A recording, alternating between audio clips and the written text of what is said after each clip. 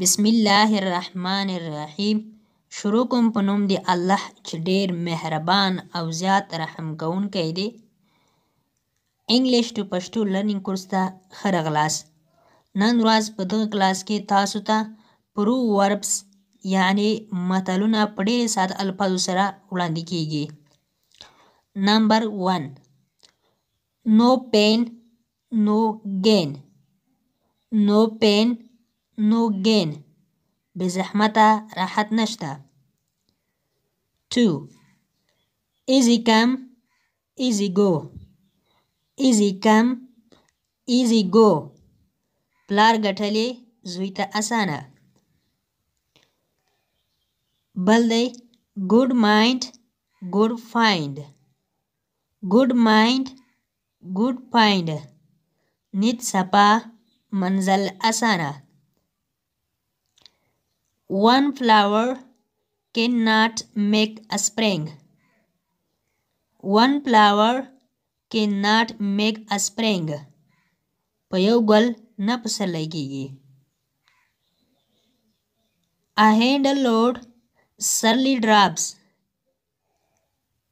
اهینډل لوډ سرلی ډرابس کوک بار تر منزله نه رسیږي بل دی سیلف ډن از ویل ډن سیلف ډن از ویل ډن خپل لاسه ګل لاسه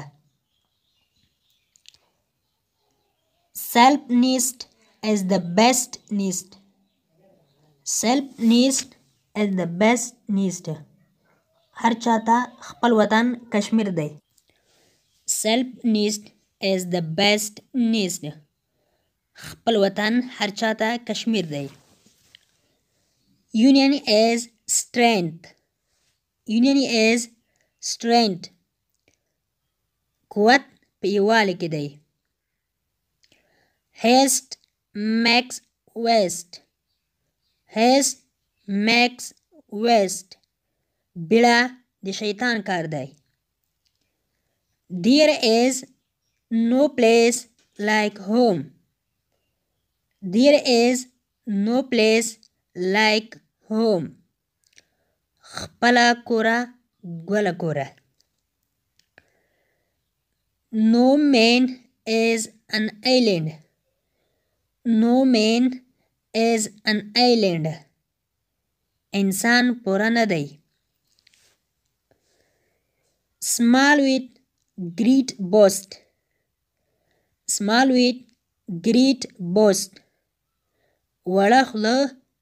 غټې خبرې مونږ پښتو کې چاته وایو چې وړه خوله غټې خبرې یعنې نو غټ غټې خبرې مه کوه نو په انګلیش کې د معنی دغه ده سمال ویټ ګریټ بوست وړه خوله غټې خبرې پورست واټر فلوز اپورډز پورست واټر فلوز اپورډز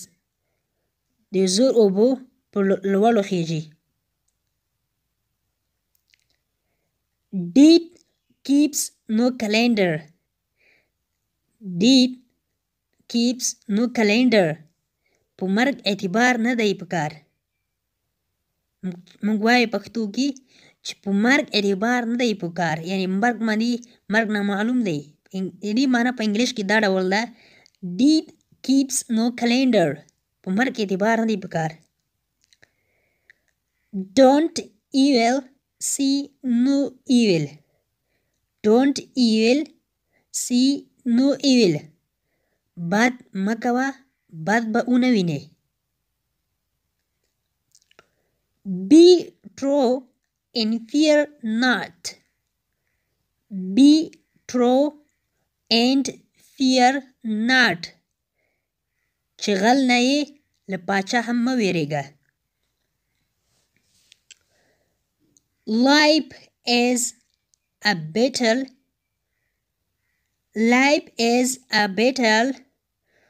نو فیسټ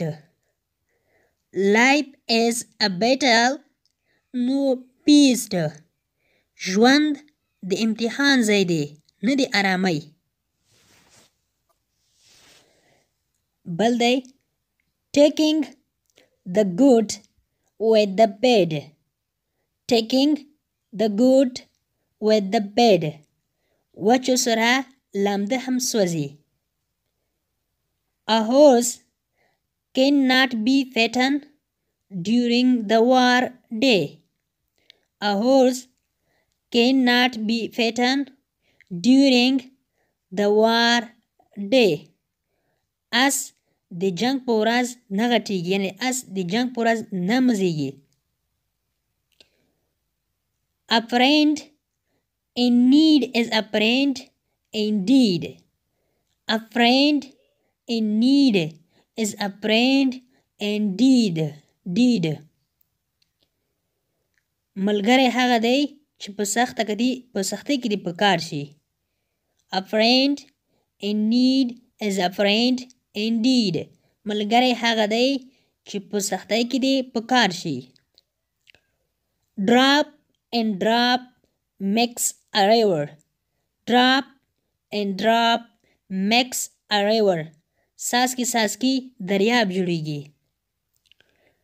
یو سټارټ مووینګ